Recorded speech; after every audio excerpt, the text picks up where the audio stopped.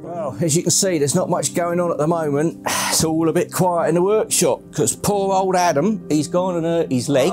It's all got infected and it's resulted in him laying in a bed in Addenbrooke's Hospital in Cambridge. They're pumping antibiotics into him and trying to get his leg sorted out.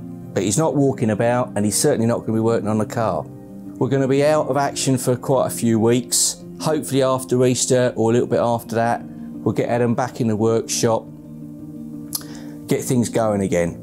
I wish Adam all the best, and uh, if you want to leave a comment to wish him best as well, please do. That will cheer him up. And uh, yeah, that's about it for this week's episode, and we'll, we'll see you when we're back. So uh, I'll do the usual click my fingers because that will cheer Adam up when he's watching this. So there you go, there's my fingers at work.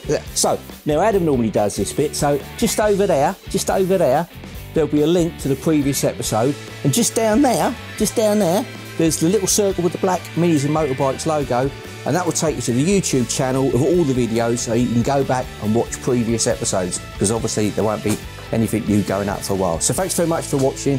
We'll see you as soon as we get back.